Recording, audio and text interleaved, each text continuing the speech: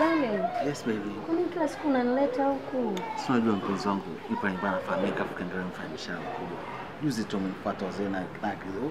Nataka mheshimiwa Gombe Bunge mimi na siasa. Umeanza mambo yako. Afu kitu nitakusahau. Kipi? Kabla tujaoana kuna gari nzuri mwa Gari? Yeah. Wow.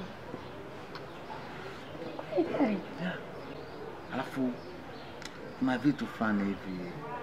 Unajua siku ya harusi yetu tufanye harusi hapa. Ndio. Natoka hapo naenda Madagascar. Wewe kila siku No. Kwa serious kweli.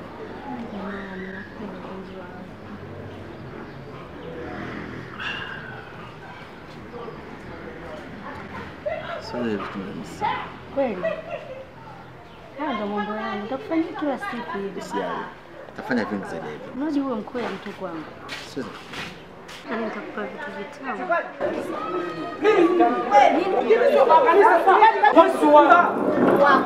Wewe baba, namuomba mwanamke huyu aache tabia, sababu huyu mwanamke anakula Ngoja ngoja ngoja.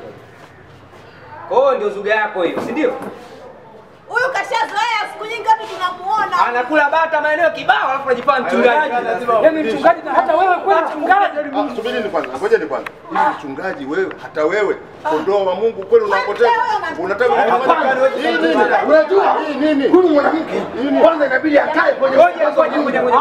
Unajua nyinyi mmeshindwa kumuelewa mchungaji wa Mungu. Yaani kwanza mmekuwa Yaani